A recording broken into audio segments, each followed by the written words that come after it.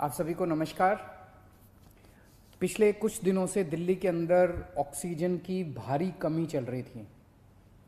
दिल्ली को आज जितनी हमारी हॉस्पिटल्स हैं, जितने हमारी हेल्थ इंफ्रास्ट्रक्चर है, इसको चलाने के लिए 700 टन ऑक्सीजन की डेली ज़रूरत है।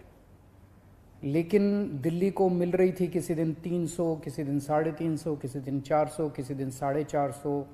इस तरह से दिल्ली को ऑक्सीजन मिल रही थी, जिसकी वजह से अस्पतालों में कमी हो रही थी। अस्पताल मैसेज पे मैसेज डाल रहे थे, फिर मीडिया में आ रहा था, इस अस्पताल में घंटे भर की ऑक्सीजन बची है, उधर आधे घंटे की ऑक्सीजन बची है। मरीजों, मरीज़ मरीज़ मरीजों की मौत हो सकती है, और काफ़ी ज़्यादा दिक्कत हो रही थी। लेकिन कल पहली बार दिल्ली को 730 टन ऑक्सीजन केंद्र सरकार ने भेजी है। जैसा मैंने बताया, दिल्ली को 700 टन ऑक्सीजन की ज़रूरत है। कल पहली बार केंद्र सरकार ने 730 टन ऑक्सीजन भेजी है। हम तहे दिल से दिल्ली की जनता की तरफ़ से उनका मुख्यमंत्री होने के नाते मैं केंद्र सरकार का बहुत बहुत शुक्रिया अदा करता हूँ। मैं दिल्ली हाई कोर्ट का बहुत बहुत शुक्रिया अदा करता हूँ। मैं दिल्ली सुप्रीम कोर्ट का बहुत बहुत शुक्रिया अदा करता हूँ।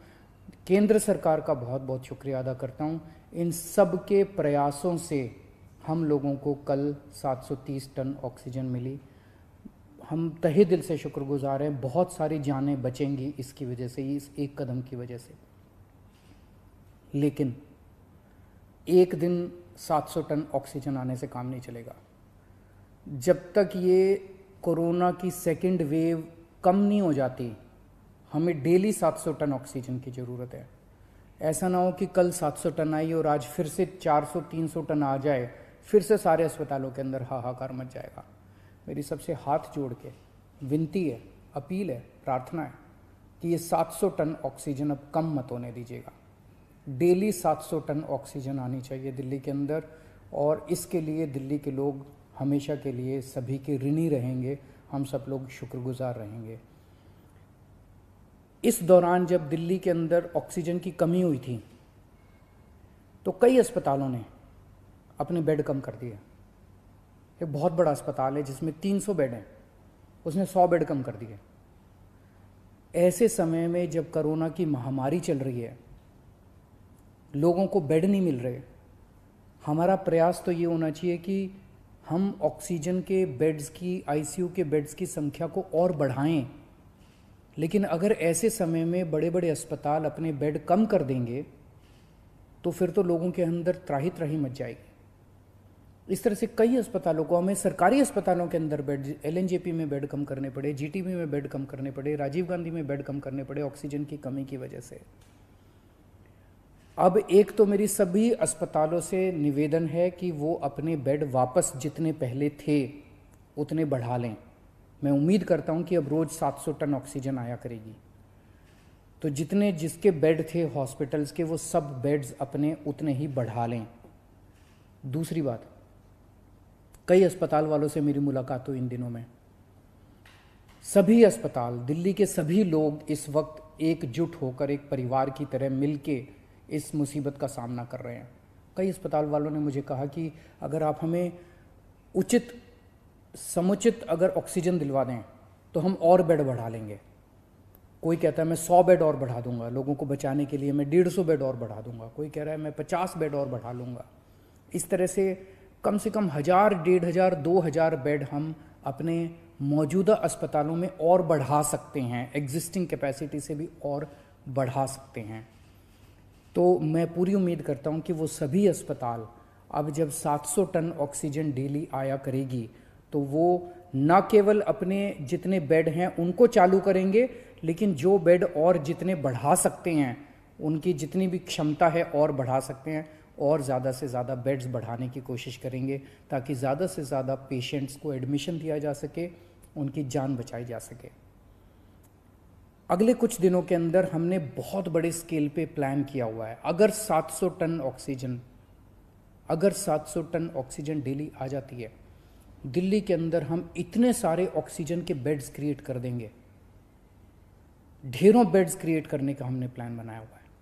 हम इतने ऑक्सीजन के बेड्स, अभी ऑक्सीजन की कमी की वजह से हम राधा स्वामी सत्संग में हम पाँच हज़ार बेड क्रिएट कर सकते हैं। बुराड़ी में दो जगह हम लोगों ने ढाई हज़ार बेड तैयार किए हुए हैं। कॉमनवेल्थ गेम्स के अंदर हज़ार बेड तैयार किए हुए हैं। यमुना स्पोर्ट्स कॉम्प्लेक्स में हज़ार बेड तैयार किए हुए हैं। नौ साढ़े नौ हज़ार बेड हम तुरंत तैयार कर सकते हैं अगर ऑक्सीजन समुचित मिल जाए हम लोगों को।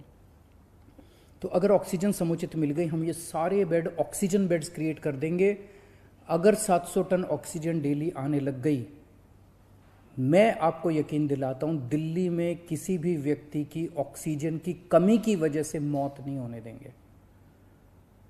दिल्ली में किसी को भी ऑक्सीजन की कमी नहीं होने देंगे।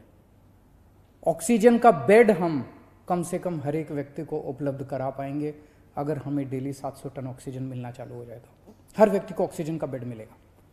ऑक्सीजन की कमी की वजह से आपको किसी तरह की तकलीफ़ नहीं होने देंगे।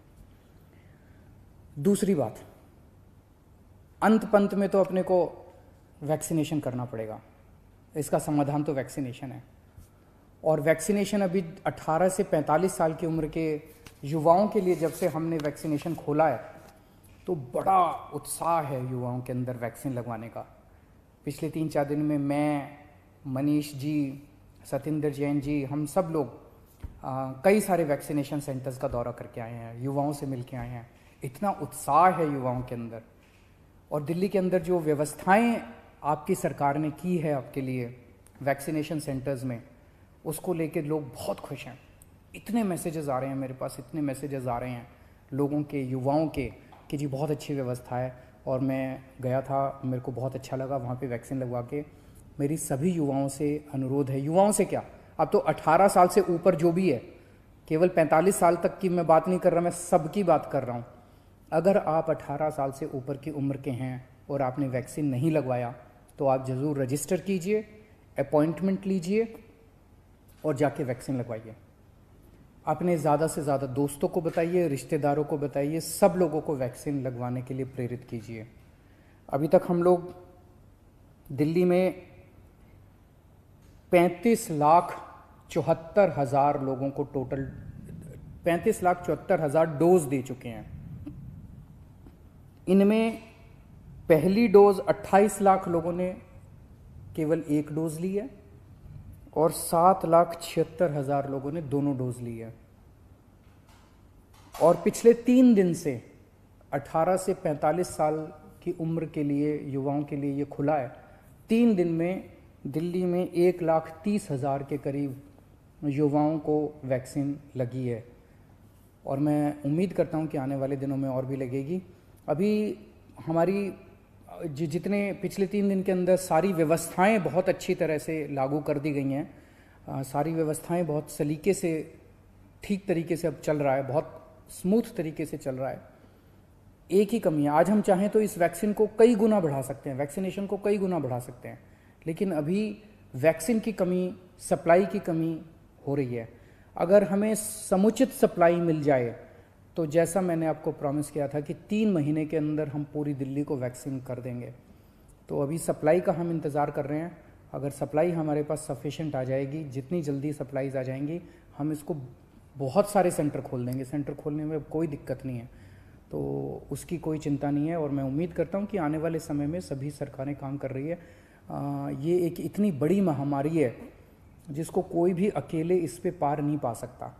मैं उम्मीद करता हूँ कि आने वाले दिनों में हम इसी तरह से सब लोग मिल के काम करेंगे, सारी सरकारें मिल के काम करेंगी, कोर्ट्स का हम लोगों को बहुत सहयोग मिल रहा है, सभी कोर्ट्स भी मदद कर रहे हैं, सारी संस्थाएँ भी मदद कर रही है, और मुझे पूरी उम्मीद है कि ऊपर वाले की कृपा से हम ज़रूर इससे मुक्ति पाएँगे। नमस्कार।